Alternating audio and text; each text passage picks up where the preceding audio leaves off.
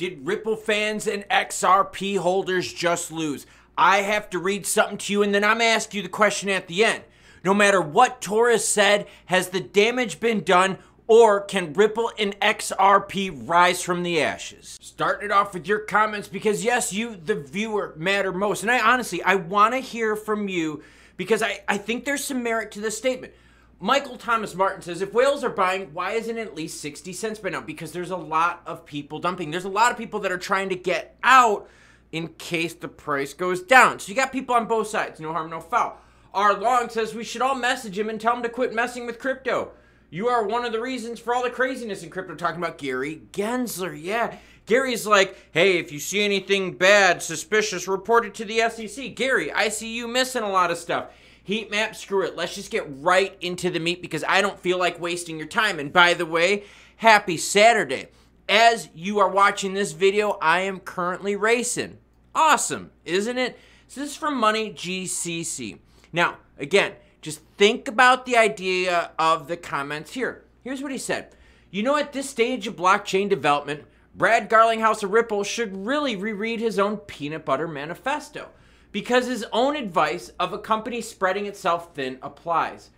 Ripple is at the stage Yahoo moved to compete with AOL. It's crystal clear that Ripple is trying to directly compete with Circle. That makes sense, right? Because Circle has USDC, Ripple is going to have RLUSD. The only difference is Circle is five years ahead because Jeremy Allaire has decades of experience in finance and knew what customers needed and wanted, but also what they don't want and what they needed and what they didn't want. The amount of missteps at Ripple, a company I'm actually fond of, are sad to say the least. The crazy thing here is that the execs at Ripple are always looking at who is in front of them, never who is coming up from behind, and consistently marketing themselves as the ones solving a problem, while the builders at Circle and Chainlink have taken major partners and major liquidity without crazy marketing spends.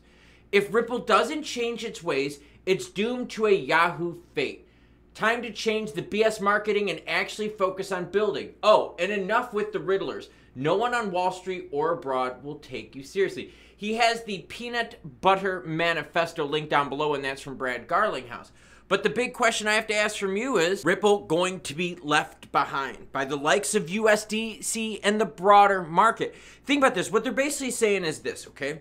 Is that USDC has a head start on RLUSD and Ripple's trying to compete against him. But we also have the Torres case with the SEC and Ripple. So even if Ripple gets out of the Torres action unscathed, has the damage already been done? Is Ripple really five years behind USDC? Is Ripple spreading themselves too thin and, and trying to look too much at the leaders of the stablecoin market and not fixing problems? Is the Torres damage done? No matter what the verdict is from Torres, is Ripple behind because of that? Or can they slingshot back up to the lead? I want to hear from you because that's what this is all about. People ahead of you, people behind you, and where you stand, just like me racing right now. There's people in front of me, and that's all I'm focusing on. But I guarantee you, if I hear the pitter patter, right, of steps behind me, I'm to look behind me, I'm to drop a gear, and I'm to go for it. So now it's your time to let me know in the comments below what you think. Is Ripple behind? Are they always going to be behind? Has the damage from the SEC been done and can it be reversed? Will Ripple be able to gain the crown? Let me know in the comments below, and maybe while I'm taking breaks during racing, I'll read them. I'll catch you cool cats later. I've got to run.